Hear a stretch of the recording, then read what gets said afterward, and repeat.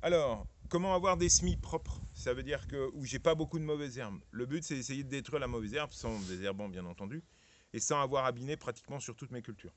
Là, on est fin avril, euh, non pardon, on est mi-mai, fin mai, regardez.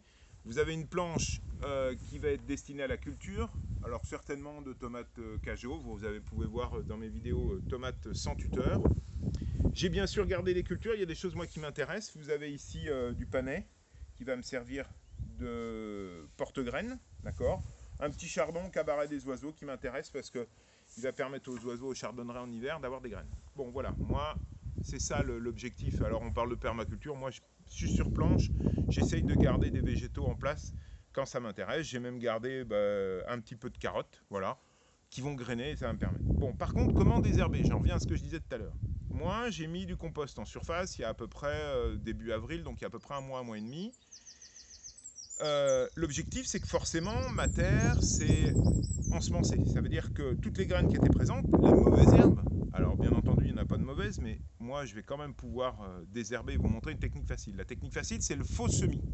Ça veut dire que j'avais préparé mon sol, j'ai mis tout mon compost, il a plu, ça a chauffé pendant à peu près trois semaines, un mois, et vous pouvez observer, j'ai plein de semis ici, d'Adventis. Alors il y a des choses que je pourrais garder parce que là il y a de la bourrache par exemple, euh, là il y a de la triplex pourpre, mais bon moi ça m'intéresse pas. C'est des choses qui ont été ressemées. Là j'ai du glécoma, donc un, un lierre terrestre. Voilà. Et donc le faux semis c'est quoi? On prépare la terre, on attend 15 jours, 3 semaines avec de l'eau et de la chaleur. Ça va germer, mais tout va germer sauf la plante. Je me rapproche parce qu'il y a du vent. Sauf la plante que je veux puisque je ne l'ai pas semée.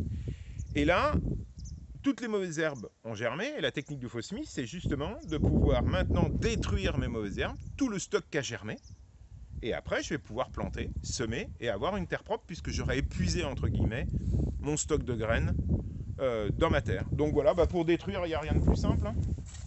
Voilà, alors pas de bêchage, retournez juste à la griffe. Voilà, et là on voit bien toutes les mauvaises, toutes les adventices qui avaient germé euh, sont retournés, vous voyez les, racines, vous voyez en blanc, voilà. Et comme ça, je me retrouve avec un terrain qui a été épuré des mauvaises herbes par une technique très simple qu'on appelle le faux. C'est utilisé aussi pour le gazon, c'est aussi utilisé pour d'autres cultures où on prépare le sol. Et en fait, on prépare le sol comme si c'était un semis. Et c'est pour ça qu'on appelle faux semis, puisqu'on ne met pas nos graines que l'on souhaite cultiver. On laisse les mauvaises herbes Et voilà. J'ai une terre, vous voyez, déjà bien fraîche. Et toutes mes petites adventices ont été détruites. D'accord Avec toutes les graines sont détruites. Alors on va se mettre, voilà, le soleil. Et toutes mes graines ont été détruites, elles vont sécher. Et je vais pouvoir semer maintenant. Que ce soit carottes, que ce soit radis et autres. Mais au moins, je peux euh, avoir une terre propre. C'est ce qu'on appelle la technique du faux.